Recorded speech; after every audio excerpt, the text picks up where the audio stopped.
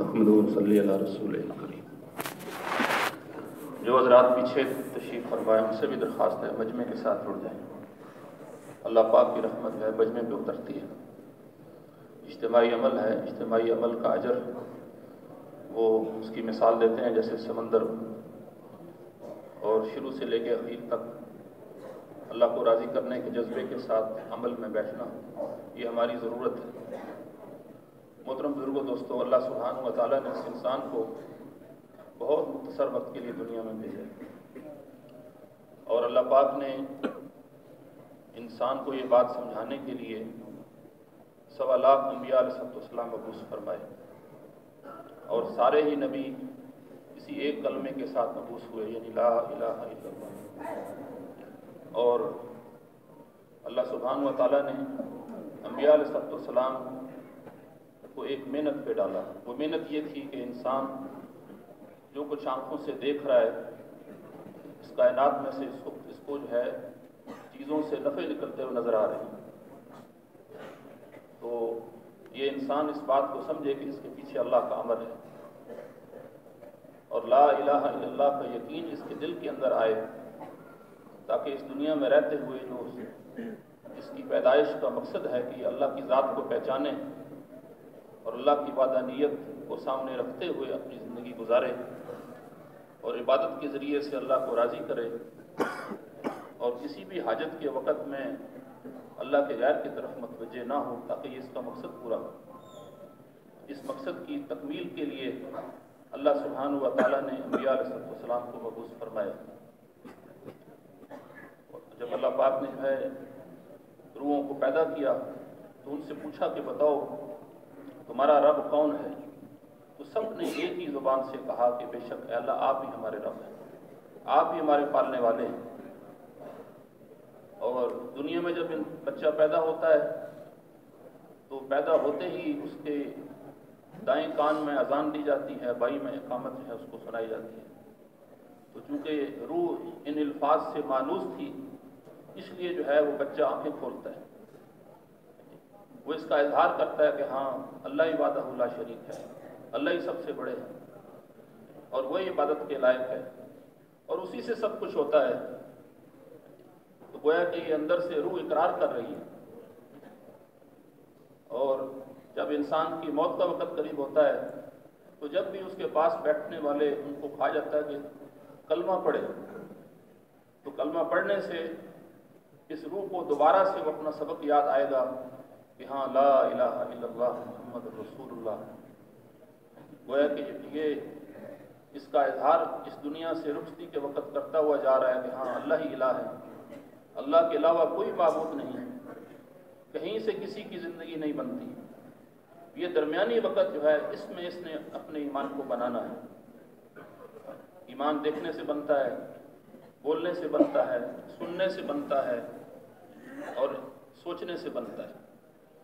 یہ اعضاء و جوارے جہاں اور جیسے استعمال ہوں گے، ویسا ہی ایمان بنے گا۔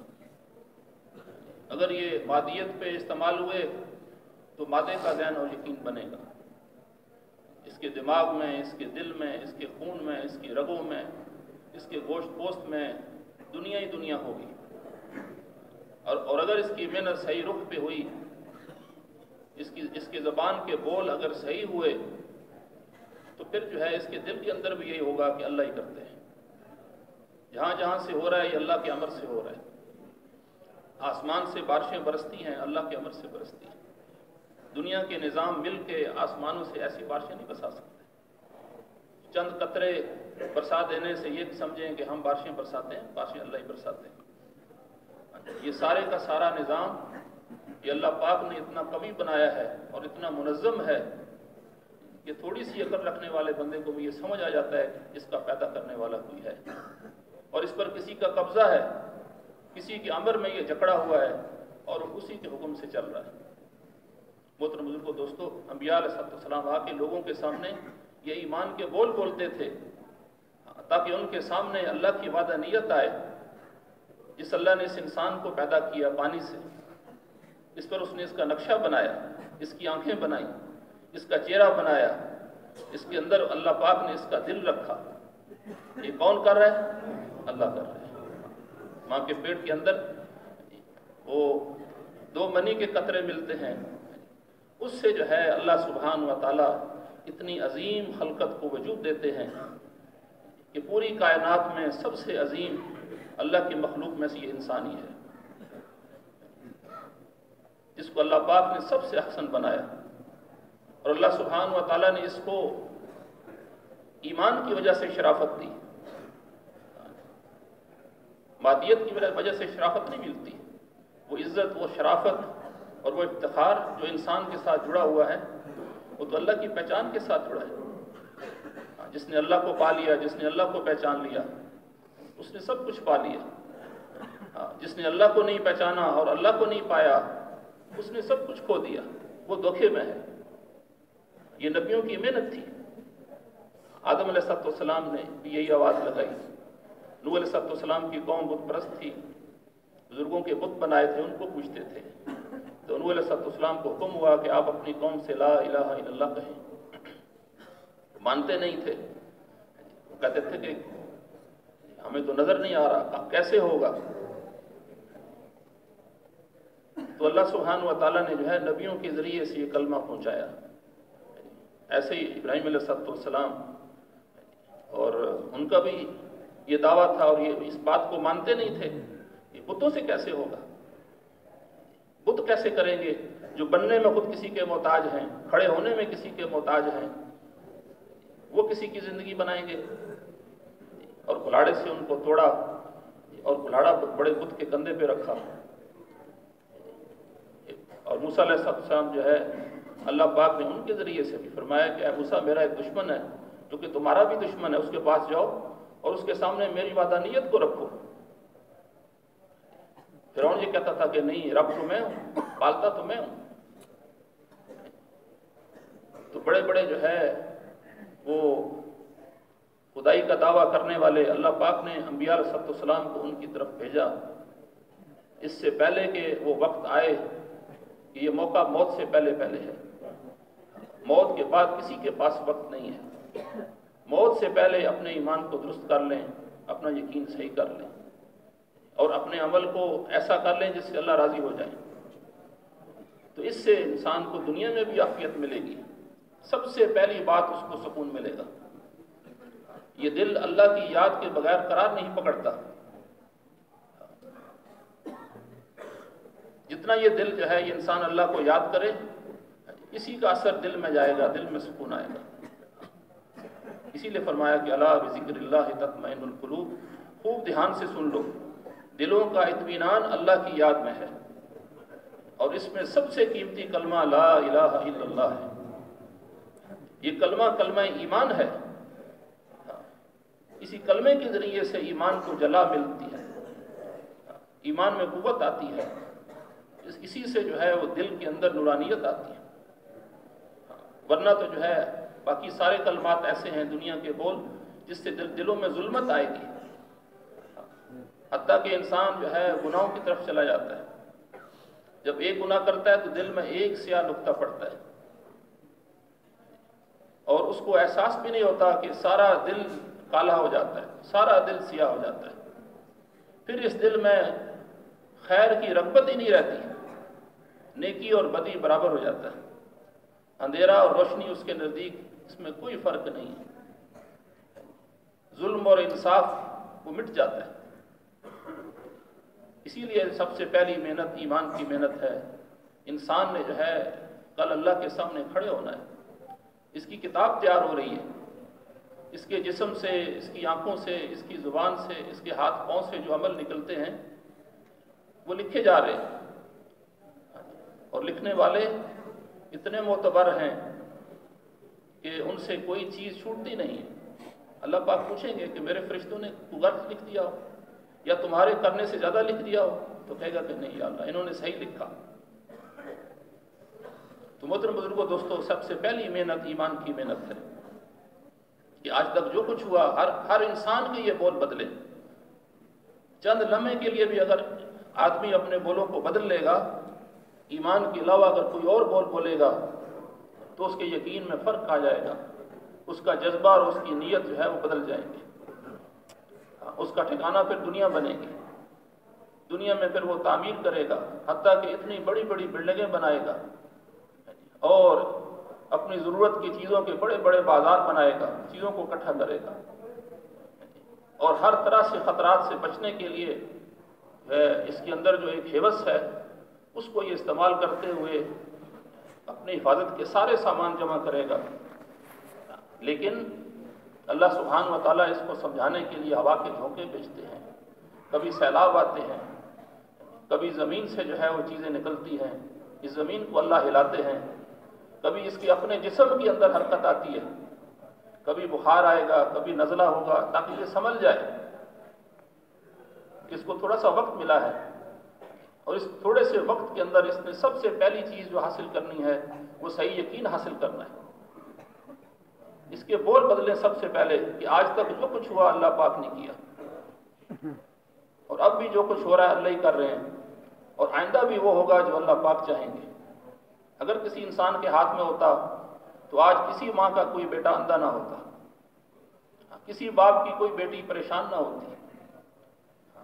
ماں باپ اپنے ہاتھوں سے اپنی اولاد کو زمین میں دفن کرتے ہیں۔ کبھی ایسے نہ ہوتا۔ بوڑھے ماں باپ جو ہیں، موجود ہوتے ہیں، ان کے سامنے جوان اولاد جاری ہوتی ہے۔ یہ اللہ دکھلاتے ہیں کہ اللہ کرتے ہیں۔ خوشیاں اللہ کے حکم سے ملتی ہیں۔ ضرورتیں اللہ کے حکم سے پوری ہوتی ہیں۔ اور سارے سامان کے باوجود اگر اللہ کی طرف سے حکم غم کا آ جائے، تو گھر کے چھوٹے بچے بھی غمزدہ ہو جاتے ہیں۔ اور اگر اللہ کو انسان راضی کر لے، تو جن کو نہیں محسوس ہونا ہوتا، وہ بھی خوشی محسوس کرتے ہیں۔ محترم بزرگوں دوستوں اس سب کچھ کا تعلق انسان کے اعمال کے ساتھ ہے۔ ساری دنیا میں جتنا فساد ہے، جہاں کہیں پریشانی ہے، یہ سب کچھ انسان کے ہاتھوں کی کمائی ہے۔ خشکی اور تری میں جو کچھ ہو رہا ہے، یہ انسان کے اعمال کی وجہ سے ہو رہا ہے۔ اور اس میں سب سے بنیادی اور پہلی چیز انبیاء علیہ اسلام کی جو محنت کی پہلی کڑی تھی، وہ یقینوں کی تبدیلی تھی۔ جہاں جہاں سے ہوتا ہوا نظر آ رہا ہے، اس اس کی نفی کرنی ہے۔ یہی کلمے کے الفاظ یہاں سے شروع ہوتے ہیں، لا الہ۔ کہیں سے کسی کی زندگی نہیں بنتی، مگر ایک اللہ بناتے ہیں۔ کوئی کسی کی بگڑی نہیں بنا سکتا۔ کوئی کسی کو غموں سے نجات نہیں دے سکتا۔ الا اللہ، مگر ایک اللہ کرتے ہیں۔ جب آدمی بھمر میں پھنستا ہے تو پھر اللہ کو یاد کرتا ہے۔ اللہ فرماتے ہیں، جب میں اس کو اس بھمر سے نکالتا ہوں، تو پھر مجھے بھول جاتا ہے۔ پھر اس کا بگڑا ہوا یقین جو ہے، اس کو راستے سے ہٹاتا ہے۔ حالانکہ ابھی اس کو اللہ نے جو ہے، اس بھور سے نکالا تھا۔ بھوک لگتی ہے، آدمی کھانا کھاتا ہے، لیکن بسا اوقات اللہ پاک سمجھاتے ہیں کہ کھانا اللہ ہی کھلاتے ہیں۔ اسباب ختم ہو جاتے ہیں۔ یہ ہر آدمی کے ساتھ ہوتا ہے۔ تھکا ہوا ہے، اس کا انتظام نہیں کر سکتا، لیکن آن کی آن میں اللہ اس کو کھلاتے ہیں۔ یہ سمجھاتے ہیں کہ اللہ ہی رزق دیتے ہیں۔ آدمی اپنے ہاتھوں سے کھانا تیار کرتا ہے، لیکن آن کی آن میں ایسا مہمان آتا ہے کہ اس نے اپنے لیے تیار کیا تھا، وہ اس کو کھلاتا تھا اللہ سمجھاتے ہیں۔ کھلانے والے اللہ پاک ہیں۔ ضرورتیں اللہ پوری کرتے ہیں۔ اللہ کے حکم سے انسان کی ضرورتیں پوری ہوتی ہیں۔ اور اللہ پاک فرماتے ہیں جس کا مفہوم حدیث قدسی کا مفہوم ہے، اے میرے بندو، میں نے ظلم کو اپنے اوپر حرام قرار دیا اس لیے تم بھی آپس میں ایک دوسرے پہ ظلم نہ کرو۔ اور تمہارے اگلے اور پچھلے سب ایک میدان میں جمع ہو جائیں۔ اور سب وہ ایسے اور اور وہ سب اپنی چاہت، اپنی زبان میں مجھ سے مانگیں، اپنے الفاظ میں۔ تو سب کی ضرورتوں کو اسی وقت میں سن کے پورا کر دوں۔ میرے خزانوں میں اتنی کمی نہیں آتی جتنا کہ سمندر میں انگلی کو ڈبونے سے کمی آتی ہے۔ اور تمہارے اگلے اور پچھلے ایسے آدمی کی طرح سے ہو جائیں کہ جو بہت ہی نیک اور فرما بردار ہے، تو میری بڑائی میں ذرا برابر اضافہ نہیں ہوتا۔ اور تمہارے اگلے اور پچھلے ایک ایسے آدمی کی طرح سے ہو جائیں جو کہ نافرمان ہے، تو میری عظمت اور جلال میں اور میری شان و شوکت میں ذرا برابر کمی نہیں آتی۔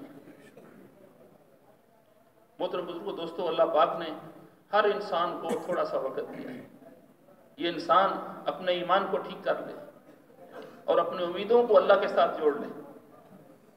اگر یہ امیدیں اس نے اللہ کے علاوہ کسی اور کے ساتھ جوڑیں تو یہ امیدیں ٹوٹیں گی۔ یہ پوری نہیں ہو سکتی۔ اس لیے کہ پورا کرنے والا اللہ ہے۔ پھر یہ انسان انسانوں سے خفا ہوگا۔ کبھی ماں باپ سے ناراض ہوگا، کبھی دوستوں سے ناراض ہوگا۔ پوری تو اللہ کرتے ہیں، امیدیں کسی اور سے لگا لی اس پر اللہ پاک کو غصہ آتا ہے۔ جب بندہ اللہ کو چھوڑ کے اللہ کے غیر کے ساتھ اپنی امیدیں لگاتا ہے تو اس پہ اللہ پاک ناراض ہوتے ہیں۔ جب بندہ سب طرف سے ہٹ کے اللہ ہی کی طرف اپنی امیدیں جوڑتا ہے، اس پہ اللہ پاک خوش ہوتے ہیں، اللہ راضی ہوتے ہیں۔ اللہ پاک فرشتوں پہ فخر کرتے ہیں۔ تم نے کہا تھا یہ انسان دنیا میں فساد برپا کرے گا۔ یہ تو میری عبادت کرتا ہے، یہ تو مجھے یاد کرتا ہے، میری تعریف کرتا ہے، میرے سامنے جھکتا ہے اور اپنی حاجت میرے علاوہ کسی کے سامنے نہیں رکھتا۔ حتیٰ کہ فقہ آ گیا تو ایک آدمی نے اس پہ صبر کیا اور اپنی اس حالت کو کسی کے سامنے نہیں رکھا۔ حتیٰ کہ پورا دن گزر گیا، رات گزر گئی۔ حتیٰ کہ تین دن گزر گئے اس نے اپنے فاقے کو پوشیدہ رکھا۔ اللہ سبحانہ و تعالیٰ اس کے لیے ایک سال کی حلال روزی مختص کر دیتے اس کو کہیں جانے کی ضرورت نہیں پڑتی۔ جب اللہ سبحانہ و تعالیٰ انسان کو کوئی نعمت دیتے ہیں اور جب یہ بندہ اس نعمت کو اللہ ہی کے ساتھ جوڑتا ہے تو اللہ پاک اس پہ خوش ہوتے ہیں۔ اور جب بندہ جو ہے اس نعمت کو کسی اور کے ساتھ جوڑتا ہے دی تو اللہ نے تھی۔ اللہ پاک اس پہ جو ہے ناراض ہوتے ہیں۔ مطلب بزرگ دوستو، یہ مختصر سا وقت ہے اس زندگی کا شروع ہوتی ہے، لیکن پتہ ہی نہیں چلتا، ایک دم جو ہے پچاس سال، سو سال ختم ہو جاتے ہیں۔ اور اس میں جو آدمی زیادہ سوچ میں پڑے گا، تو خطرہ یہ ہے کہ وہ کہیں یعنی کھو نہ جائے۔ تو انبیاء علیہ السلام کی زندگی کو دیکھنا ہوگا، انہوں نے زندگی کیسے گزاری۔ سب سے زیادہ حال انبیاء علیہ السلام پہ آئے۔ سب سے زیادہ۔ وہ وقت کے بڑے بڑے فرعون، ہر ہر دور کا فرعون ہوتا ہے۔ وقت کے بڑے بڑے فرعونوں کے ساتھ انبیاء علیہ السلام کو سامنا کرنا پڑا۔ لیکن ایمان کی وہ سطح ہوتی ہے ان کی کہ کسی موقع، کسی حال سے گھبراتے نہیں۔ اور جری اور ظالم سے ظالم لوگوں اور مجموع میں جو ہے اللہ کی بڑائی کو بولتے رہے کہ اللہ ہی جو ہے وعدہ اللہ شریک ہے۔ اس کے سوا کوئی ایسی ذات نہیں ہے، ایسی طاقت نہیں ہے کہ جس کی عبادت کی جائے، جس کی تعریف کی جائے، جس سے حاجتوں کو پورا کرایا جائے، جس سے ضرورتیں مانگی جائیں۔ ایک وہی اللہ ہے۔ تو انبیاء علیہ السلام کی دعوت اور انبیاء علیہ السلام کو اللہ سبحانہ و تعالیٰ نے ہر دور میں بھیجا، حتیٰ کہ ایک ایک وقت میں ستر ستر نبی آئے۔ اور بڑی بڑی مزامتیں برداشت کی، حتیٰ کہ شہید ہوئے۔ اس دعوت کے کام کی وجہ سے جسم سے گوشت کو لوہے کی کنگیوں کے ساتھ ہے وہ چھیلا گیا اور نوچا گیا اور آروں سے چیرا گیا۔ اس لیے کہ سب سے بڑا جھگڑا توحید و شرک کا ہی ہے۔ یہ جہان، یہ غیر اللہ کا جہان ہے۔ جس طرف دیکھیں گے، چیزوں سے نفع نکل رہے ہیں۔ لیکن انبیاء علیہ السلام کی تعلیمات یہ ہیں کہ یہ سب کچھ اللہ کر رہے ہیں۔ اگر سورج مشرق سے نکل رہا ہے، تو یہ اللہ کے عمر سے نکل رہا ہے۔ اس کی اپنی ذاتی کوئی چیز نہیں۔ اس کی حرارت، اس کی روشنی، اس کا وقت پہ نکلنا اور غروب ہونا، یہ سب اللہ کے عمر سے ہے۔ رات کو ستارے نکلتے ہیں، تو یہ اللہ کے عمر سے ہے۔ ان کی اپنی ذاتی کچھ نہیں ہے۔ وہ سب پیدا ہوئے ساری کائنات ہے ایسے۔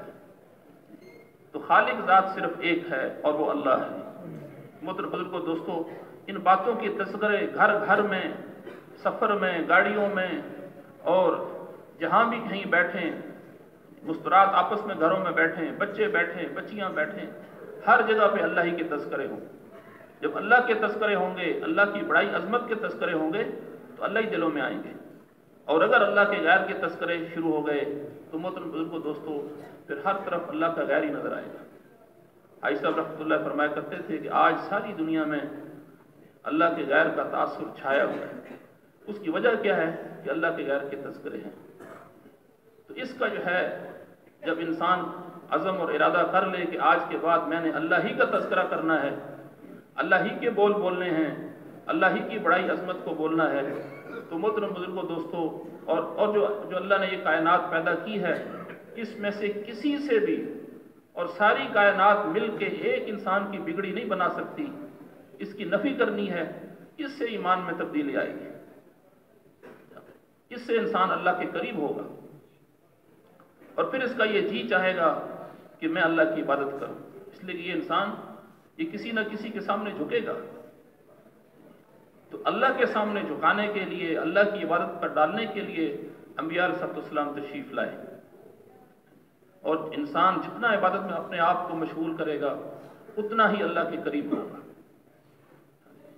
اور اس کی آنکھوں کا دیکھنا، اس کے کانوں کا سننا، اس کے زبان کے بول، اس کے اس کے دماغ کی سوچ، سب سے پہلے یہ استعمال ہوگی۔ جس جگہ بیٹھیں گے، جہاں بیٹھیں گے، ہر ایک کو اللہ کی طرف بلائیں گے۔ انبیاء علیہ السلام کی محنت کی تکمیل کے لیے حضور صلی اللہ علیہ وسلم تشریف لائے اور آپ صلی اللہ علیہ وسلم نے آ کے سب سے پہلے جو ہے اللہ کا تعارف کرایا، اللہ پاک کی بڑائی عظمت کو بولا اور اس اللہ کی عظمت اور بڑائی کو بولنے پر صحابہ کرام کو تیار کیا۔ حتیٰ کہ ایک جماعت تیار ہوئی اور اس جماعت کا مقصد جو ہے ان کے سامنے رکھا۔ سب سے پہلے آپ صلی اللہ علیہ وسلم نے محنت کر کے صحابہ کرام کی نیت اور جذبے کو بدلا۔ مال و ملک و چیزوں والے جذبے کو، ایمان و اعمال اور دعوت والے جذبے سے بدلا۔ یہ آخری امت ہے۔ آپ صلی اللہ علیہ وسلم آخری نبی ہے اور یہ امت آخری امت ہے۔ اور اس امت کے ذمہ اللہ پاک نے بہت بڑا ایک کام لگایا ہے۔ وہ کام یہ ہے کہ یہ امت انسانیت میں پھرے گی۔ اور یہ انسانیت میں پھر پھر کے انسانوں کو حضور پاک نے ست کی مبارک محنت کے لیے تیار کرے گی۔ جب ہر دو انسان آپس میں اللہ ہی کی بات کریں گے اور اللہ ہی کی عبادت کے تذکرے ہوں گے، تو ہر طرف ایمان اور عبادت کی فضائیں ہوں گی۔ اور اگر جو ہے ہر دو آدمی ملنے والے آپس میں وہ اللہ کے غیر کے تذکرے کریں گے، تو اس سے جو ہے ساری کائنات کے اندر فضا تبدیل ہوگی۔ ہاں۔ محترم بزرگوں دوستوں کیسے مشرق سے لے کے مغرب تک، شمال سے جنوب تک، کیسے ہر طرف عبادت کی فضائیں ہوں؟ خیر خائی کی فضائیں کیسے ہوں؟ اس کے لیے اس کی بنیاد جو ہے، وہ حضور پاک علیہ السلام کی خطب نبوت کی وجہ سے یہ دعوت کی محنت ہر مسلمان کے ذمہ ہوئی۔ ہر بچے کے بول بدلیں ہر بچی کے بول بدلیں ہر بوڑھے کے جس کی آنکھیں چلی گئی جو کھڑا نہیں ہو سکتا، جو کہ عبادت بھی بیٹھ کے کرتا ہے، اس کے بھی ذمہ ہے، جو اس کو دیکھنے آئے، اس سے بات کرے کہ اللہ ہی سے ہوتا ہے۔ ساری کی ساری کامیابیاں ایک اکیلے اللہ کے ہاتھ میں ہیں۔ اور اللہ سبحانہ و تعالیٰ نے کامیابیاں دینے کے لیے اپنے احکامات نازل کیے ہیں۔ جو اللہ کے احکامات پہ آئے گا، اللہ پاک اس کو کامیاب کریں گے، اللہ اس کو سکون دیں گے۔ اللہ سبحانہ و تعالیٰ اس کو اطمینان دیں گے اور اللہ کی یابی مدیں اس کے ساتھ ہو جائیں گی۔ ہر مسلمان اس کی جب نیت کر لے گا، اللہ پاک سے کام لیں گے۔ حضرات صحابہ کرام جو بھی کلمہ پڑھتا تھا بکر رضی اللہ تعالیٰ عنہ کلمہ پڑھا تو یعنی پہلے دن چھ انسانوں کو کلمہ پڑھا کے لائے، یا رسول اللہ، یہ میری کمائی ہے۔ اور وہ چھ کے چھ ایسے تھے کہ وہ چھ کے چھ وہ ان لوگوں میں شمار ہوئے جن کو دنیا میں جنت کی بشارت ملی۔ حضرات صحابہ اکرام نے مقصد کو سمجھا تھا۔ اپنی ضرورتوں کو پیچھے کیا، دینی ضرورتوں کو غالب کیا۔ ان کی کامیابی کی سب سے بڑی وجہ یہ تھی اپنے جسم کی ضرورتوں کو، اپنے گھر کی ضرورتوں کو، اپنی اولاد کی ضرورتوں کو پیچھے کیا، دینی ضرورتوں کو آگے کیا۔ دین کا تقاضا آئے اور وہ خاموش بیٹھے رہیں اس زمانے میں یہ نہیں تھا۔ حتیٰ کہ بکریاں چرانے والا چرواہا، اس کی بھی سمجھ اتنی بڑی تھی کہ باب ان کابوس رضی اللہ تعالیٰ نے بکریاں جو ہے وہ ریوڑ لے کے واپس آئے مدینہ تو پوچھا کہ حضور کہاں ہے کسی نے کہا کہ عود میں گئے۔ وہیں پہ بکریوں کو چھوڑا اور وہاں پہ پہنچے اور اس جو ہے وہ جرت کے ساتھ لڑے، حتیٰ کہ شہید ہو گئے محترم بزرگوں، دوستوں، کہیں پہ دین کو، اللہ کو، اسلام کو، کسی صحابی کی جان کی ضرورت ہے تو اپنی جان کو بچاتے نہیں تھے۔ وہ خود تو خود تھے، ان کی عورتیں بھی، حضرات صحابیات اور ان کے بچے، وہ ایڑیاں اٹھا اٹھا کے اللہ کے لیے اپنے آپ کو پیش کرتے تھے۔ کہ ہم ہیں، ہم اپنی جان اللہ کے لیے پیش کرتے ہیں۔ اور قیامت تک ان کا نام اللہ سبحانہ و تعالیٰ ایسی زندہ رکھیں گے، اس لیے کہ انہوں نے اپنے آپ کو مٹانے کے لیے، ختم کرنے کے لیے اللہ کا دین زندہ ہو جائے، ہم بے شک شہید ہو جائے ہماری ضرورتیں جو ہے وہ پوری نہ ہوں۔ ہر لائن میں انہوں نے اپنے آپ کو آگے کیا۔ مہمان آ گئے تو ساری رات بھوکے رہے۔ مہمان کو ترجیح دی۔ اس پر اللہ نے فرمایا کہ بعض ایمان والے ایسے ہوتے ہیں کہ جو اپنے اوپر دوسروں کو ترجیح دیتے ہیں، ان کی زندگی پہ قرآن اترتا تھا، ان کے حیا کے اوپر، ان کی عبادت کے اوپر، ان کی مالی قربانیوں کے اوپر۔ محترم بزرگوں، دوستوں، وہ مبارک محنت اسی جذبے کے ساتھ آج بھی اگر ہوگی تو آج بھی ساری دنیا میں فضا بدلے گی۔ ہر مسلمان ایمان والا نظر آئے گا، ہر مسلمان عبادت والا نظر آئے گا۔ ہر مسلمان حضور پاک علیہ السلام کی سنت کو لے کے پھرنے والا کاروبار مقصود نہیں ہے، بلکہ کاروبار تو اللہ کے امر کو کو سمجھتے ہوئے حضور پاک علیہ السلام کی سنت سے کرنا یہ مقصد بنے گا۔ مال کمانا مقصد نہیں ہوگا، یہ بدل جائے گا۔ ساری دنیا میں فضا بدلے گی۔ جیسے حضرات صاحب اکرام کے دور میں چرواہا جو ہے، اس سے پوچھا کہ ہے یہ بکریوں کے بارے میں۔ تو عبداللہ بن عمر رضی اللہ تعالیٰ کسی صحابی نے پوچھا تو انہوں نے کہا کہ مالک تو دیکھ تو نہیں رہا، اس نے کہا پھر اللہ کہاں چلے جائیں گے؟ تو ایک باغ میں کام کرنے والا اسے کہا کہ جو میٹھا پھل ہے وہ دو۔ اس نے کہا میں نے تو چکھا نہیں، مجھے اس لیے نہیں رکھا گیا۔ تو ان کی زندگی قیامت تک آنے والے انسانوں کے لیے رہبری اور نمونہ بنے گی۔ تو محترم بزرگوں دوستوں اس کی نیت اور اس کا جذبہ جب ہم بھی کر لیں گے، ہم بھی اپنی نیت کو بدلیں گے کہ ہم اللہ کے لیے ہیں، اور ہم جو ہے اللہ کے دین کو لے کے ساری دنیا میں پھریں گے۔ آج اگر تھوڑا سا ایک دیکھ لیں تو مختصر سی زندگی کے لیے کہ مجھے دو وقت کی روٹی مل جائے ایک جھونپڑا مل جائے اور میرا لباس اور سواری مل جائے، اس کے لیے انسان اپنا وطن، اپنا ملک چھوڑتا ہے، اپنے ماں باپ کو چھوڑ کے یہاں سے جاتا ہے۔ سالہ سال جو ہے باہر رہ کے وہاں پہ مال کمانا چاہتا ہے۔ حالانکہ دنیا کی زندگی اتنی مختصر ہے، بہت سے لوگ جاتے ہیں تو کچھ بھی نہیں کر سکتے۔ وہی اللہ ہے، یہ زمین اس اللہ کی ہے۔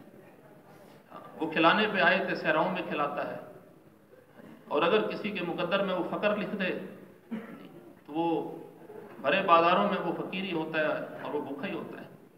یہ تو اللہ کھلاتے ہیں، جو پرندوں کو کھلاتا ہے۔ جو سمندر کی مچھلیوں کو کھلاتا ہے، جو پاؤں، چوپاؤں کو کھلاتا ہے، یہ کائنات تو بنائی اللہ نے انسان کے لیے۔ تو اللہ پاک تو یہ چاہتے ہیں کہ میرے بندے مجھ پر ایمان لائیں، مجھ پر بھروسہ کریں مجھے سے رزق مانگے میں رزق دیتا ہوں۔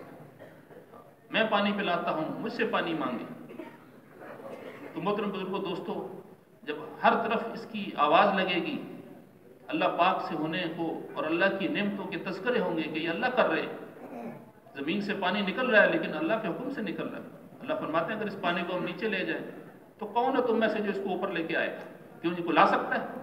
کوئی نہیں لا سکتا۔ یہ تو اللہ کے عمر سے یہ کھڑا ہے۔ آسمانوں سے پانی برس، بارش ہوتی ہے، پانی برستا ہے، تو یہ اللہ کے عمر سے برستا ہے۔ اگر اللہ نہ چاہیں تو سارے انسان مل کے یہ نظام قائم نہیں کر سکتے۔ تو حضور صلی اللہ علیہ وسلم نے حضرات صحابہ اکرام کو اس پہ ڈالا۔ اور دوسرا یہ تھا کہ دعوت کی ایسی محنت کروائی جس کی وجہ سے رخ دنیا سے آخرت کی طرف پھرے۔ ورنہ پہلے وہ تاجر بھی تھے، وہ تجارت کرتے تھے، وہ باغات والے بھی تھے۔ ان میں سے بعض غلام بھی تھے۔ یہ ساری ضرورتیں ان کے ساتھ بھی لگی ہوئی تھیں۔ بیوی بچے ان کے بھی تھے، ہم سے زیادہ تھے۔ لیکن ایمان کی محنت کی وجہ سے رخ دنیا سے آخرت کی طرف پھرا۔ پھر آپ صلی اللہ علیہ وسلم ان کے سامنے جنت اور جہنم کے تذکرے کرتے تھے کہ وہ جنت کیسی ہے۔ یا رسول اللہ، ہمیں اس قربانی پہ کیا ملے گا؟ آپ فرماتے تھے، جنت ملے گی۔ پھر جنت کے تذکرے تھے، اس سے ان کے دل پھر آخرت کی طرف کھچے ہوئے جاتے تھے۔ وہ کیسی جنت ہے؟ کہ ساری دنیا کے خزانے ملا کے ان کو جمع کیا جائے تو جنت کی ایک بالش زمین نہیں خریدی جا سکتی۔ وہ جنت اتنی قیمتی ہے۔ اس کی گھاس کیسی ہوگی؟ وہ سونے اور چاندی کی گھاس ہوگی، مشک و زعفران جو ہے وہ اس کی مٹی ہوگی۔ اس کے محلات جو ہے وہ سونے کے ہوں گے۔ وہ کیسا سونا ہوگا؟ اتنا شفاف کہ اندر سے باہر نظر آئے اور باہر سے اندر نظر آئے۔ وہ ایک ایک محل کتنا بڑا ہوگا کہ جس میں ستر ہزار کمرے ہوں گے۔ اور ساٹھ ساٹھ میل تک ایک ایک جو ہے وہ وہاں کے بنگلے کی لمبائی اور چوڑائی ہوگی اور اور ایک ایک انسان کو کتنے چاہیے؟ کہ وہ تو سینکڑوں چاہیے اور ہزاروں چاہیے۔ سب سے آخر میں جو انسان جنت میں داخل ہوگا، اس کی جو ہے ستر یا بہتر بیویاں ہوں گی۔ اور اس کو ہر شہر میں اتنے اتنے مکان چاہیے۔ جنت میں جنتی کی ہر چاہت کو اللہ پاک پورا کریں گے۔ ایک آدمی یہ چاہتا ہے کہ وہاں میرا مکان ہو، اس کے پاس اگر مال ہے تو وہاں بھی بناتا ہے مکان، کہ میں اس شہر میں مکان بناؤں۔ تو محترم بزرگوں، دوستوں، جنہوں نے محنت کی اور جنہوں نے اپنا ایمان بنایا اور اللہ پاک کے لیے جو ہے، اللہ کی رضا کے لیے عبادت کی اور اللہ کو راضی کیا اور اللہ اللہ کے دین کے لیے انہوں نے جو ہے اپنے جان و مال کو لگایا، ان کو اللہ کتنی بڑی جنت دیں گے۔ یعنی پچیس لاکھ پوروں والی جنت جو ہے انبیاء علیہ السلام کو ملے گی۔ ایسے پھر درجہ ب درجہ جو ہے نیچے۔ تو لاکھوں ہو رہے اگر ایک جنتی کو ملیں گی تو اس کو لاکھوں گھر بھی چاہیے۔ تو یہ سب کچھ جنت میں ہوگا۔ اور ایسی سواریاں ہوں گی کہ جن کا ایک قدم جہاں پہ انسان جہاں تک نگاہ جاتی ہے، وہاں پہ جو اس کا ایک قدم ہوگا۔ اور ایسے پھل ہیں وہاں کے کہ دنیا میں اس کا تصور نہیں ہے۔ اور ایسے گھنے سائے جن کو دیکھ کی ٹھنڈک محسوس ہو۔ تو مطلب بزرگوں دوستوں اس جنت کے لیے اللہ فرماتے ہیں کہ بڑھو اس جنت کی طرف، جس کا عرض ساتوں آسمان، ساتوں زمینوں سے زیادہ ہے، اس کا طول کتنا ہوگا؟ اور وہ ہمیشہ کے لیے ملے گی، کبھی چھینی نہیں جائے گی۔ اور اللہ سبحانہ و تعالیٰ وہاں پہ کسی جنتی کو کبھی بھی جو ہے اس کے سر میں درد تک نہیں ہوگا۔ ساری کی ساری راحتیں اور خوشیاں وہاں پہ جمع ہوں گی۔ اور سب سے بڑھ کر یہ کہ کسی کو موت نہیں آئے گی۔ اور اللہ سبحانہ و تعالیٰ جو ہے اپنی رضا کا اعلان فرمائیں گے آخر میں۔ اور اس کے بعد کبھی بھی اللہ سبحانہ و تعالیٰ کسی سے ناراض نہیں ہوں گے۔ تو اس کے لیے اس دنیا میں انسان کو بھیجا گیا ہے۔ اس دنیا میں جا کے یہ اس, اس نے اللہ کے عوامر کو پورا کرنا ہے۔ اور اپنی چاہتوں کو اپنی خواہشات کو جو ہے ان کو پیچھے کرنا ہے۔ اور اللہ سبحانہ و تعالیٰ نے اس پر سب سے بڑا حکم جو ہے اس, اس, کے لیے وہ نماز کا اس کو نماز دی ہے۔ پانچ وقت کی نماز فرمایا جو مسلمان اہتمام کر لے تو اللہ پاک کی ذمہ داری پر جنت میں داخل ہوگا۔ اور اس سے حساب نہیں لیا جائے گا۔ قبر اس کے لیے جنت کا باغ بن جائے گی۔ جب قیامت کے دن اٹھے گا تو امال نامہ اس کو دائیں ہاتھ میں ملے گا اور پل سرات پر سے بجلی کی تیزی سے گزرے گا۔ کسی نے پوچھا، یا رسول اللہ، بجلی کی تیزی کیا ہوتی فرمایا کہ تم آسمان پر نہیں دیکھا کبھی بجلی۔ پلک جھپکنے میں وہ پل سرات کو پار کرے گا۔ اور فرمایا، تمہارا دوسرا قافلہ وہ ہوا کی تیزی سے گزرے گا۔ تمہارا تیسرا قافلہ ہے وہ گھوڑ سواروں کی طرح سے گزرے گا۔ پھر اونٹ کی رفتار سے پھر کچھ لوگ جو ہے ایسے چل رہے ہوں گے۔ ان کے آنکڑوں کے ساتھ لٹک لٹک کے آگے جا رہے ہوں گے اور کچھ لوگ جو ہے وہ کٹ کے نیچے گر رہے ہوں گے۔ اور پانچ وقت کی نماز کا اہتمام کرنے والا اس سے حساب نہیں لیا جائے گا۔ فرمایا جو باجماعت نماز پڑھتا ہے، تو اللہ سبحانہ و تعالیٰ باجماعت نماز پڑھنے کی وجہ سے سب کی نماز کو قبول فرما لیتے ہیں۔ اللہ پاک سب سے پہلے امام کے اوپر نگاہ ڈالتے ہیں۔ اگر امام کی نماز اس قابل ہے، تو امام کی نماز کی وجہ سے سب کی نماز اللہ پاک قبول فرما لیتے ہیں۔ اور اگر امام کی نماز اس قابل نہیں، تو اللہ سبحانہ و تعالیٰ مقتدیوں پہ نگاہ ڈالتے ہیں۔ ان میں سے اگر کسی ایک کی نماز بھی اس قابل ہے، تو اس ایک کی وجہ سے سب کی نماز قبول ہو جاتی ہے۔ اور اگر ایک کی بھی نہیں ہے، تو اللہ سبحانہ تعالیٰ فرماتے ہیں اچھا تم اکٹھے ہو کے میرے پاس آئے ہو، تو تمہاری اس اجتماعیت کی وجہ سے میں تم سب کی میں نے نماز قبول کر لی۔ تو محترم بزرگوں، دوستو، ایمان کے بعد سب سے بڑا حکم نماز کا ہے۔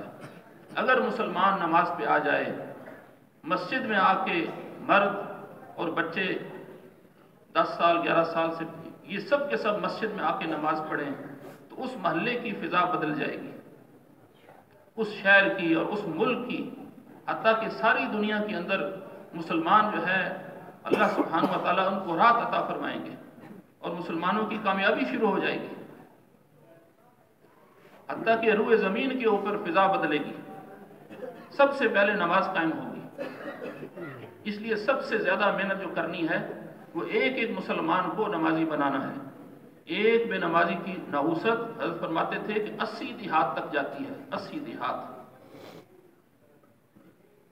اور ایک جو ہم سنتے ہیں مثال کہ ایک بے نمازی کی نحوست چالیس گھروں تک جاتی ہے۔ ایک گھر والے بہت محنت کر رہے ہیں۔ چھوٹے چھوٹے بچے بھی نمازی ہیں۔ قرآن پاک کے گھر میں تلاوت ہوتی ہے۔ سنت کے مطابق زندگی ہے۔ شریعت کے مطابق زندگی ہے۔ لیکن پڑوس میں ایک بے نمازی ہے۔ تو اس کی نحوست کی وجہ سے وہ جو نحوست اتر رہی ہے، یہ بھی متاثر ہو اس لیے محنت کر کے ایک ایک مسلمان کو نمازی بنانا ہے۔ مسترات گھروں میں اور جو ہے مرد مسجدوں میں آ کے نماز پڑھے۔ اور ہر حاجت کے وقت میں اللہ کے سامنے کھڑے ہونا۔ اگر خوشی ہے تو جب بھی نماز ہے، اور اگر غم ہے تو پھر بھی نماز ہے۔ کوئی فوتگی کی اطلاع پہنچے تو ایک دم کہ ہم اس کی عادت بنائیں کہ نماز میں کھڑے ہو جائیں۔ یہی سابق کرام سے ملا۔ ہے خوشی کی خبر آئے تو پھر بھی نماز ہے۔ ہر حالت میں نماز ہے۔ اور ہر حاجت میں نماز ہے۔ اور اس میں سب سے بڑی حاجت وہ تو اللہ پاک کا تعلق جو ہے مل رہا ہے جتنا زیادہ نفلوں کا اہتمام کریں گے، دو رکت نفل تحجد کے، فرمایا یہ مومن کی شرافت ہے۔ اس کی عزت ہے، اس کا افتخار ہے۔ اور دو رکت نفل جو ہے اشراق کے، مقبول حج عمرے کا اجر ہے۔ چار رکت نفل چاشت کے، یہ تو سارے دن کی ہوائج حاجتیں اس سے پوری ہو جائیں گی۔ چھ رکت نفل عوابین کے بارہ سال کے گناہ معاف ہوتے ہیں۔ تو محترم بزرگوں، دوستو، اللہ سبحانہ و تعالیٰ نے اپنا تعلق دینے کے لیے یہ نماز دی ہے۔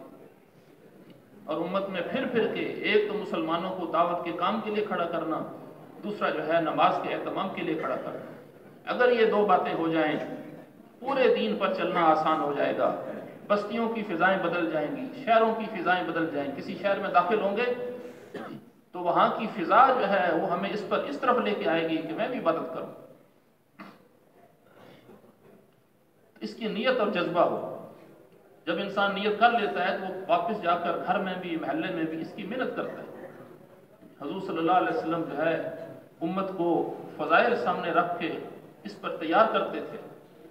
کسی بے نمازی کو اگر میں نے تیار کر لیا تو اس کی نماز کا اجر مجھے بھی ملے گا۔ مولانا جمیل صاحب رحمۃ اللہ فرمایا کرتے تھے کہ اگر جتنے نمازی ہیں، وہ اگر اس کی نیت کر لیں کہ پورے سال میں ایک بے نمازی کو نمازی بناؤں گا، تو پانچ چھ سال میں ہمارے ملک کا مسئلہ حل ہو جاتا ہے۔ اور ساری دنیا میں بھی چند سال لگیں گے کہ ساری دنیا میں مسلمان پانچ وقت کے نماز میں حقائق تمام کرنے والے ہوں۔ اس کے ساتھ اگلی جو محنت ہے، وہ دین کو سیکھنے کی۔ اور یہ محنت ہر مسلمان کے ذمہ ہے۔ بچہ ہے تو اس کے بھی ذمہ ہے، حتیٰ کہ بچہ جب جاتا ہے ناظرہ پڑھنے کے لیے، ابھی اس نے الف لام میم پڑھا ہے، الف باتا پڑھا ہے، اسی کے اوپر ماں باپ کے گناہ معاف ہو جاتے ہیں۔ اور اگر اس نے ناظرہ قرآن مکمل کر لیا، تو اس کے ماں باپ کو ایسے دو جوڑے پہنائے جائیں گے کہ جن کی قیمت ساری دنیا کے خزانے مل کر نہیں دے سکتے۔ اور اگر کسی بچے نے قرآن حفظ کر لیا، تو قبر میں فرمایا کہ اس کے پاس ایک بوڑھا آدمی آئے گا۔ تو اسے کہے گا، تو نے مجھے پہچانا؟ یعنی، نہیں جب قبر سے اٹھایا اٹھایا جائے گا۔ وہ کہے گا کہ، تو نے مجھے پہچانا؟ کہے گا، نہیں، پہچانا تو نہیں۔ اچھا وہ کہے گا، میں تو وہی قرآن ہوں، جن، جس کی تو راتوں کو تلاوت کرتا تھا اور دن میں اس پہ عمل کرتا تھا۔ پھر اس کے دائیں ہاتھ میں ہمیشہ کی بادشاہت اور اس کے بائیں ہاتھ میں ہمیشہ کی جنت کا پروانہ دیا جائے گا۔ اور حافظ قرآن کے ماں باپ کو ایسا تاج ان کے سر پہ رکھا جائے گا کہ جس کی روشنی آفتاب کی روشنی سے زیادہ ہوگی۔ اور حافظ قرآن کی سفارش کے اوپر دس ایسے مسلمان جن پر جہنم واجب ہوگی، ان کو جنت میں، ہمیشہ کی جنت میں داخل کیا جائے گا۔ تو محترم بزرگوں، دوستو، اور پھر پورے دین کو سیکھنا۔ جو جو ہماری روزانہ کی ضرورتیں ہیں چوبیس گھنٹے کی، یہ ہر مسلمان پہ فرض ہیں۔ نماز پڑھنی ہے تو نماز کا علم فرض ہے، روزہ رکھنا ہے تو روزے کا علم فرض ہے۔ تو علماء کرام سے جا کے مسائل پوچھنا۔ ہاں جی ایک آدمی نکلا اور ایک مسئلہ پوچھنے کے لیے ایک مفتی صاحب کے پاس پہنچا۔ اس اس مسئلہ پوچھنے کے اوپر اللہ سبحانہ و تعالیٰ اس کے پچھلے گناہوں کو معاف کر دیتے ہیں۔ تو محترم بزرگوں، دوستو، اس کی فضا بنانی ہے۔ گھروں میں مستورات اپنے محرموں کے ذریعے سے روزانہ کے مسائل پوچھیں جو ان کو درپیش ہیں۔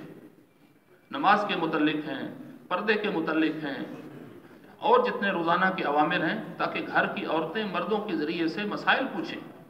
تو پوچھ پوچھ کے ہم نے اپنی زندگی کو آسان کرنا ہے۔ شریعت آسان ہے۔ شریعت کے علاوہ جتنی زندگی ہے، وہ مشکل ہے۔ وہ ساری کی ساری مشکلات وہ تو بے دینی کی وجہ سے ہیں کہ دین کو سیکھا نہیں۔ رسم و رواج کو سیکھا، لوگوں کو دیکھا، جس طرح لوگ چل رہے ہیں، اس طرح میں چلوں گا۔ تو محترم بزرگوں، دوستو، اگر کسی محلے میں، کسی گاؤں میں ایک گھرانہ اس پہ آ گیا، اس کے ذریعے سے یہ خیر سارے گاؤں میں پھیلے گی۔ اس لیے کہ خیر ساری کی ساری دین کے ساتھ جڑی ہے۔ ہاں، پوچھا گیا کہ اسلام کیا کیا ہے؟ فرمایا کہ ایمان اور علم۔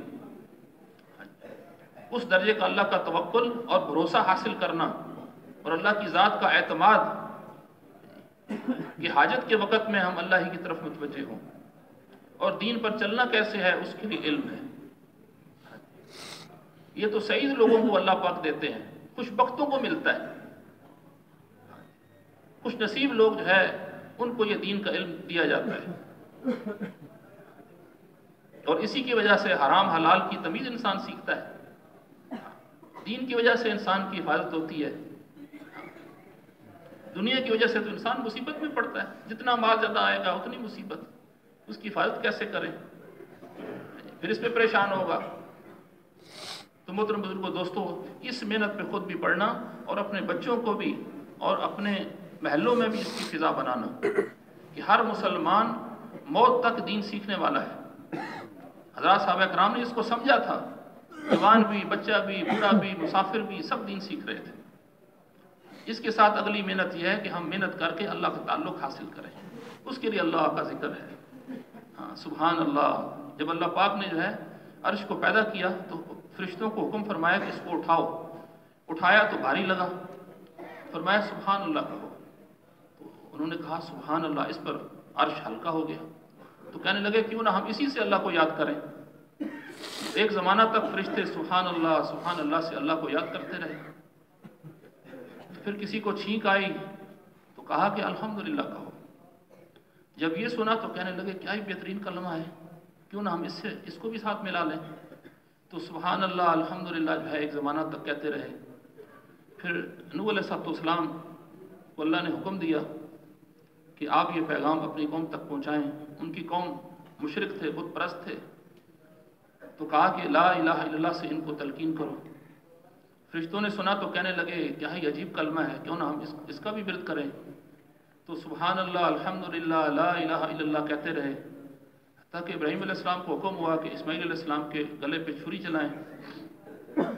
جب چھری چلائی تو آنکھوں سے پٹی ہٹائی تو دیکھا کہ جو ہے وہ مینڈا زبا ہے، اسماعیل علیہ السلام سامنے کھڑے ہیں تو بے ساختہ نکلا۔ اللہ اکبر۔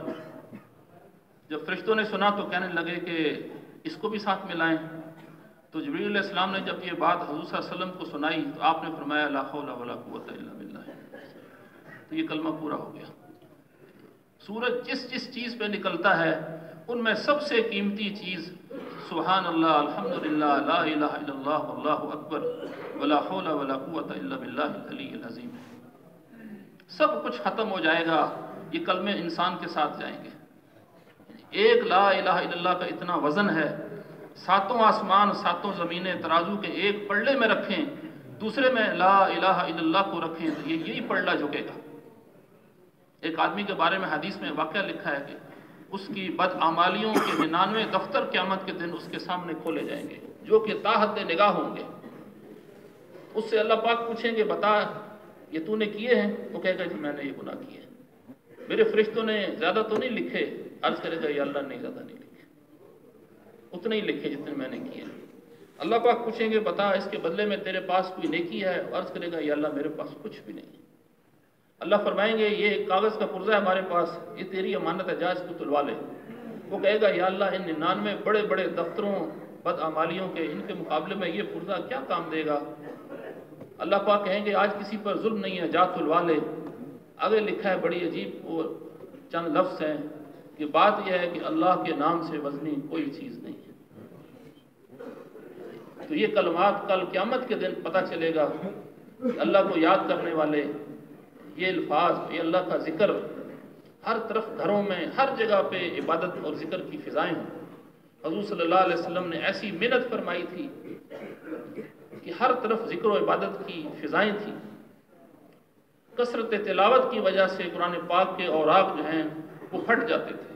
حضرت بکر رضی اللہ تعالیٰ کے بارے میں لکھا ہے، اتنا کثرت سے تلاوت کرتے تھے کہ وہ جو جس پہ وہ لکھا ہوا تھا وہ صفحہ پلٹنے کی وجہ سے وہ پھٹ گیا تھا۔ حضرت عثمان رضی اللہ تعالیٰ عنہ ایسے حضرات صاحب کرام۔ تو محترم بزرگوں دوستو اس لیے ہر آدمی کو اپنی، اپنا رخ اور اپنی منزل خود طے کرنی ہے کہ میں نے اپنی جسم کی قوت کہاں پہ لگانی ہے؟ میں نے اپنی سوچ و فکر کو، اس صلاحیت کو کس پہ لگانا ہے؟ اس چیز کو جس کو میں چھوڑ کے چلا جاؤں گا۔ کل کوئی انسان اس کا ساتھ نہیں دے گا، کوئی کام نہیں آئے گا۔ بجز یہ کہ جو کچھ اس کے جسم سے نیک عمل نکلا ہے، یا وہ یقین جو کہ اس نے اپنے دل میں پیدا کیا ہے، کل یہی اس کے ساتھ جائے گا اور اسی کی وجہ سے اللہ سبحانہ و تعالیٰ اس کو معاف فرمائیں گے۔ جنت میں تو اللہ کے فضل سے ہی جائے گا، لیکن اس کے ذمہ جو محنت تھی، وہ محنت اگر اس نے کی تو اللہ سبحانہ و تعالیٰ اس کے لیے آسان کر دیں گے۔ محترم بزرگوں، دوستوں یہ محنت ہر مسلمان کے ذمہ ہے۔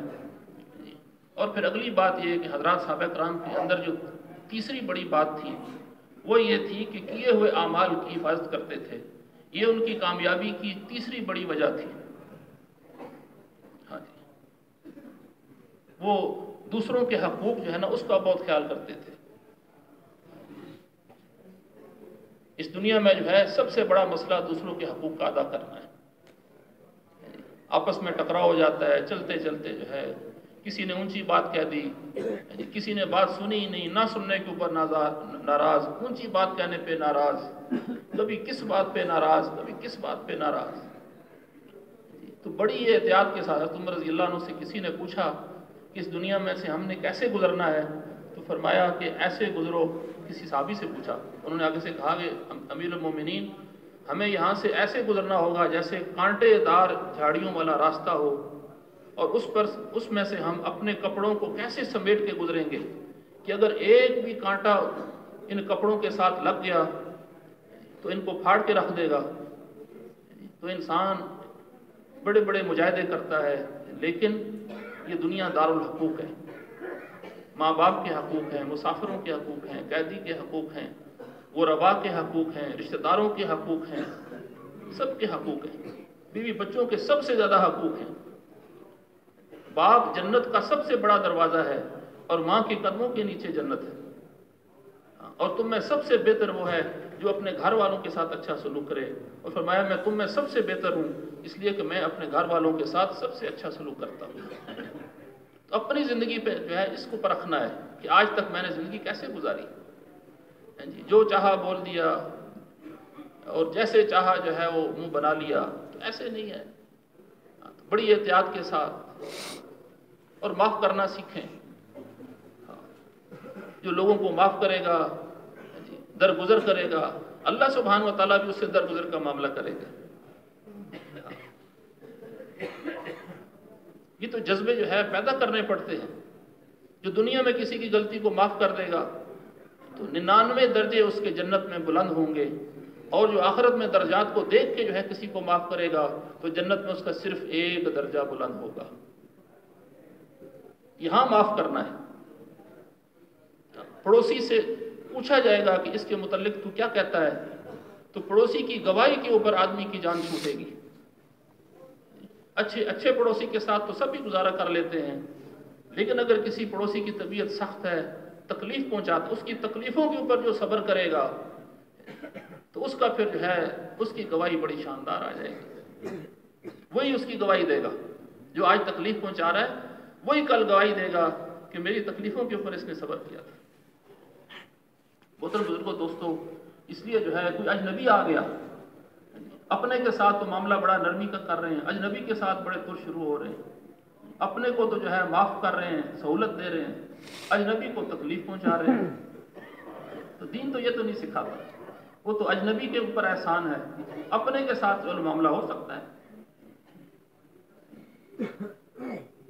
تو کیسے جو ہے پوری امت میں یہ فضا کیسے بدلے گی؟ یہ انسان، یہ اللہ کا کنبہ ہے۔ سات ارب انسان۔ اس میں ڈھائی ارب مسلمان ہیں۔ ساڑھے چار ارب انسان اللہ کی وعدہ کا انکار کرتے ہیں۔ تو محترم بزرگوں، دوستو، آج اس اپنی دنیا کی چند روزہ زندگی کو بنانے کے لیے جو ہے، وہ اپنے نفس کی خواہش اتباع کر رہے ہیں۔ اور اس کے باوجود اس دنیا میں ان کو چین نہیں ہے۔ ہم یہ کہنا کہ چلو، یہ کر کے ان کو کوئی چین مل گیا؟ چین تو نہیں ملا۔ مال تو بہت مل گیا۔ آخری نتیجہ کیا ہے کہ آخری نتیجہ ہے کہ اپنی جان کو بھی جو ہے ختم کر دیتے اپنے آپ کو قتل کر دیا۔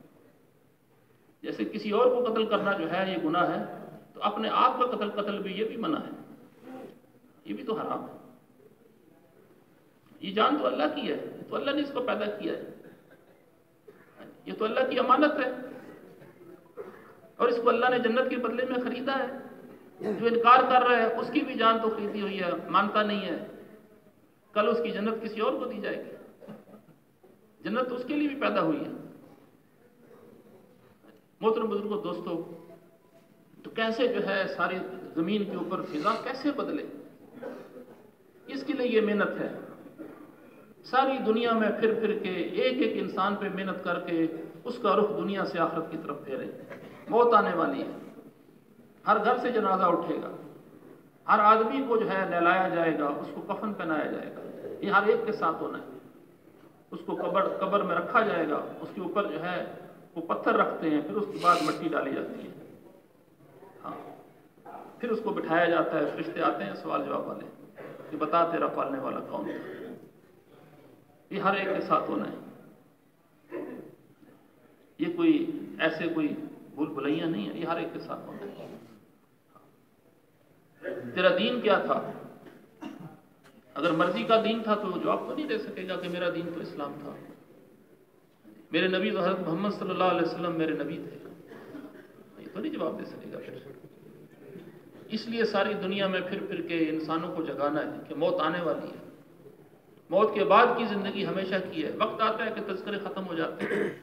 جی، بچے پردادا کا نام نہیں جانتے کہ دادا کا نام تو پتہ ہے۔ اچھا پردادا کا نام بتاؤ کہ نہیں ان کا تو نہیں آتا۔ اچھا ان کی قبر پتہ ہے؟ کہتے ہیں کہ نہیں قبر بھی نہیں پتہ۔ چونکہ قبرستان جاتے نہیں ہیں۔ تو قبرستان جائیں گے تو پتہ ہوگا، پھر یہ بھی پتہ ہوگا، ہم نے بھی یہاں پہ آنا ہے۔ آنا ہے لیکن واپس جانا نہیں ہے۔ ہزاروں سال کی زندگی قبر کی ہے۔ ہاں۔ نماز دائیں طرف، روزہ بائیں طرف۔ پھر نیک اعمال جو ہیں، پھر اس طریقے سے تلاوت کی ہے۔ جو تلاوت کی ہے، وہ تو جو ہے ایک شکل کی صورت میں اندر آئے گی جس طرف سے بھی عذاب داخل ہونا چاہے گا قبر میں، وہ تلاوت اس کو روکے گی۔ یہ اللہ کی ذات سے نکلا یہ کلام۔ جو آدمی اس کے ساتھ جڑ گیا، وہ کامیاب ہو گیا۔ تو محترم بزرگوں دوستوں یہ ہر ایک اوپر حال آنے والا ہے۔ اس لیے فرماتے تھے کہ گھروں میں مرنے کی فضا پیدا کرو۔ سب سے پہلے مرنے کے تذکرے ہوں گے۔ اس کے بعد پھر مرنے کی فضا گھروں میں پیدا ہوگی۔ مرنے کے تذکرے ہوں گے ہم نے مرنا ہے، ہم نے جانا ہے۔ کسی گھر میں جو ہے، وہ لاش پڑی ہوئی ہو اور عید کا دن ہو، تو کیا خیال ہے، وہ سوئیاں بنائیں گے؟ میت گھر میں موجود ہے۔ ابا جی فوت ہو گئے۔ کیوں جی؟ نئے کپڑے پہنیں گے۔ اس گھر میں تو آج غم ہے۔ تو اللہ کے حکموں کے لاشیں پڑے ہوئے گھروں میں۔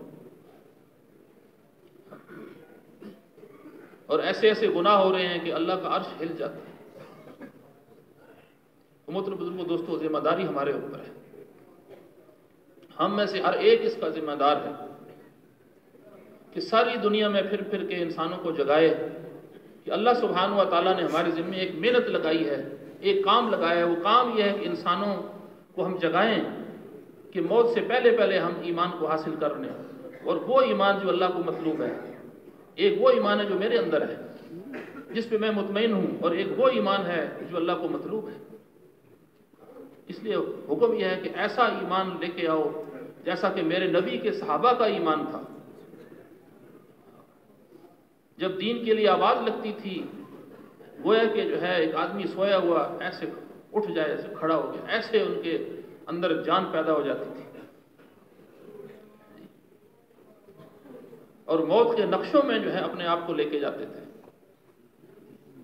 اور ان کے دن وہ تو لوگوں میں اور ان کی راتیں اللہ کے سامنے۔ ان کی راتیں رونے میں گزرتی تھیں اور ان کے دن وہ تو لوگوں پہ محنت میں۔ ایک ایک انسان پر محنت کرتے تھے۔ حضور صلی اللہ علیہ وسلم کسی انسان کو نہیں چھوڑا۔ مکہ کی تیرہ سالہ زندگی دن ہو یا رات ہو، آندھی طوفان ہے یا کچھ بھی ہے، کئی کئی دنوں سے کچھ کھایا نہیں ہے، لیکن فکر جو ہے وہ انسانوں کی ہے۔ اے اتبا شیبہ پڑھ، اے اتبا کلمہ پڑھ لے، اے شیبہ کلمہ پڑھ لے، اے ابو جیل کلمہ پڑھ لے، اے خالد کلمہ پڑھ لے۔ کسی کو نہیں چھوڑتے تھے۔ ایک ایک کے پیچھے جا کے، اس لیے کہ اللہ نے دکھلایا تھا کہ جہنم کیا ہے۔ وہ ایسی آگ ہے جو دلوں تک پہنچنے والی ہے اور اس کا ایندھن پتھر اور انسان ہے یا انسان کو آگ لگے گی یا پتھروں کو آگ لگے گی۔ تو محترم بزرگوں، دوستوں، اس سے انسانیت کو کیسے بچائیں؟ ہمارا ایمان ہے حضور صلی اللہ علیہ وسلم کے بعد اب کسی نبی نے نہیں آنا۔ ختم نبوت کی وجہ سے دین کی محنت ہر مسلمان کے ذمہ ہے۔ اندھے کے بھی ذمہ ہے، لنگڑے کے بھی ذمہ ہے۔ ایک آدمی چل نہیں سکتا، اس کے بھی ذمہ ہے۔ ایک آدمی اتنا غریب ہے کہ ایک وقت کا کھانا اس کے پاس نہیں ہے، اس کے بھی ذمہ ہے۔ جس کے پاس یہ جائے، جو اس کے پاس آئے، اس سے اللہ کے تذکرے کرے، اللہ کی بات کرے۔ اللہ پاک کی طاقتوں اور قدرتوں اور اللہ کے خزانوں کے تذکرے ہوں۔ سب کچھ کرنے والے ایک اکیلے اللہ ہے نہ مال سے ہوگا، نہ مال والوں سے ہوگا، نہ حکومت سے ہوگا، نہ حکومت والوں سے ہوگا، نہ چیزوں، نقشوں، شکلوں سے ہوگا، نہ ان کے جو جو ان، جو یہ شکلیں اور نقشے جن کے پاس ہیں، نہ ان سے ہوگا۔ ایک اکیلے اللہ سے ہوگا، ایک اکیلے اللہ کرتے ہیں اور اللہ پاک نے جو ہے اس کے لیے اعمال دیے حضور صلی اللہ علیہ وسلم اللہ پاک سے احکامات لے کے آئے ہیں۔ ان احکامات کو پورا کرنے سے اللہ راضی ہوتے ہیں۔ جب اللہ پاک راضی ہوں گے تو دنیا آخرت انسان کی بن جائے گی۔ اور اگر اللہ پاک ناراض ہوئے تو مال کے ہوتے ہوئے زندگی بگڑ جائے گی۔ اس کے لیے یہ محنت ہے۔ اس کے لیے ساری دنیا میں پھرنا ہے۔ اور مسلمانوں کو اس پہ کھڑا کرنا ہے اور اپنے محلوں میں، اپنی بستیوں میں ایک ایک مسلمان سے ملنا ہے۔ اس وقت تو ہمیں مسلمانوں کی پڑ گئی۔ ہماری اولادیں، ہمارے بچے، ہماری بچیاں کیسے ان کے جذبے بدلیں کہ ہمیں مال نہیں چاہیے، ہمیں اللہ چاہیے۔ ہم نے تو اللہ کے حکم کو پورا کرنا ہے۔ پوچھا کہ ایمان کی منتہا کیا ہے؟ فرمایا کہ حکم کا پورا ہونا، بس۔ ہاں، حکم پورا ہو گیا۔ بس یہ ہماری یہاں یہ مقصود تھا۔ بس اللہ راضی ہو جائے۔ تو تو اللہ کی رضا کے ساتھ تو دنیا آخرت میں ساری خیریں جڑی ہی اللہ کی رضا کے ساتھ ہے اس کے لیے ایک ایک بچے کو تیار کرنا ہے۔ حضرات صحابہ کرام جس ملک میں جاتے تھے، اللہ کا تعارف کراتے تھے۔ رستم کے دربار میں جب صحابہ کرام اس نے کہا کہ میرے پاس کچھ آپ لوگ بھیجیں، مجھے آپ بات سمجھائیں، آپ ہمارے ملک میں کیوں آئے ہیں؟ تو ربی بن عامر رضی اللہ عنہ جب گئے تو اس نے پوچھا کہ آپ کیوں آئے اس نے کہا، ہم آئے نہیں، ہم بھیجے گئے ہم لوگوں کو لوگوں کی غلامی سے نکال کے اللہ رب العالمین کی غلامی پر ڈالنے کے لیے اور جو ہے دنیا کی تنگیوں سے نکال کے آخرت کی وسط پر ڈالنے کے لیے اور اغیار کے دین سے نکال کے اسلام پر اور اسلام کے احکامات پر لانے کے لیے تو جو صحابی بھی اس کے پاس گئے تو انہوں نے اس کے سامنے مقصد رکھا۔ مغیرہ بن رضی اللہ جب گئے تو اس نے کہا کہ یہ کل کیا ہو؟ اس نے انہوں نے کہا کہ کل کیا ہوگا؟ کل کوئی جیے گا، کوئی مرے گا۔ مسئلہ یہ نہیں ہے۔ مسئلہ یہ ہے کہ جو بات ہم لے کے آئے ہیں، تم اس کو قبول کرتے ہو یا نہیں کرتے ہو؟ آگے جہنم ہے، آگے آخرت ہے۔ حضرات صحابہ کرام کے سامنے آخرت تھی، اللہ کی ذات تھی۔ وہ کسی انسان کو کفر پہ مرتا ہوا، نافرمانی پہ مرتا ہوا دیکھ نہیں سکتے تھے۔ اعمال میں سستی آ جائے کسی مسلمان کے، ایک دوسرے کو یاد دہانی کراتے تھے۔ جب بھی آپس میں ملتے تھے یعنی تو ایمان کے تذکرے ہوتے تھے۔ آٹھ بڑے بڑے صحابہ کرام، مسجد نبوی میں نماز کے بعد وہ ایمان کی مجالس، ایمان کی حلقے لگاتے تھے۔ کسی نے عرض کیا، یا رسول اللہ، عبداللہ بن روا ہم سے کیا کہتے ہیں؟ ہم تو ایمان والے ہیں۔ تو آپ نے پوچھا عبداللہ بن روا آپ کیا کہتے ہیں؟ انہوں نے کہا، یا رسول اللہ، میں تو ایمان کی بات کرتا ہوں۔ تو آپ نے فرمایا کہ اللہ اس پہ رحم کرے، یہ تو ٹھیک کہتا ہے۔ ایمان کی بات کرنے سے ایمان کے اندر تقویت آئے گی، ورنہ اس پہ دنیا کی گرد اور جو ہے، اس پہ دنیا کا اندھیرا آئے گا۔ محترم بزرگوں، دوستو، یہ تو ہر مسلمان کی، ہر وقت کی ضرورت ہے۔ اور روزانہ ہر ہر مسلمان ان چار اعمال پہ جب تک نہیں آئے گا، اس کے اپنے دین کی بھی حفاظت نہیں ہوگی۔ اس کی اپنی نمازوں میں سستی آ جائے گی، اس کی تلاوت میں سستی آ جائے گی، اس کے جذبے بدل جائیں گے۔ جب تک کہ ہر مسلمان اللہ کے غیر کی نفی نہ کرے اور اللہ سے ہونے کو نہ بولے۔ اور اس پر دوسروں کو تیار کرنا، ایک ہے صرف اپنی ذات سے دعوت دینا، اور ایک ہے دعوت دے کے، دعوت کے بول دوسروں کو سکھلانا، اور اس پر جو ہے اپنے مسلمانوں کو کھڑا کرنا۔ اور دوسرا، فضائل کے حلقوں میں اپنی ضرورت سمجھ کے بیٹھنا۔ فضائل کا تعلق ایمان کے ساتھ ہے۔ جتنا فضائل کے حلقوں میں بیٹھیں گے، اتنا ہی اعمال ہماری زندگی میں آئیں گے۔ اور اگر جو ہے فضائل کے حلقوں میں اپنی ضرورت سمجھ کے نہ بیٹھے، تو اعمال میں سستی آئے گی۔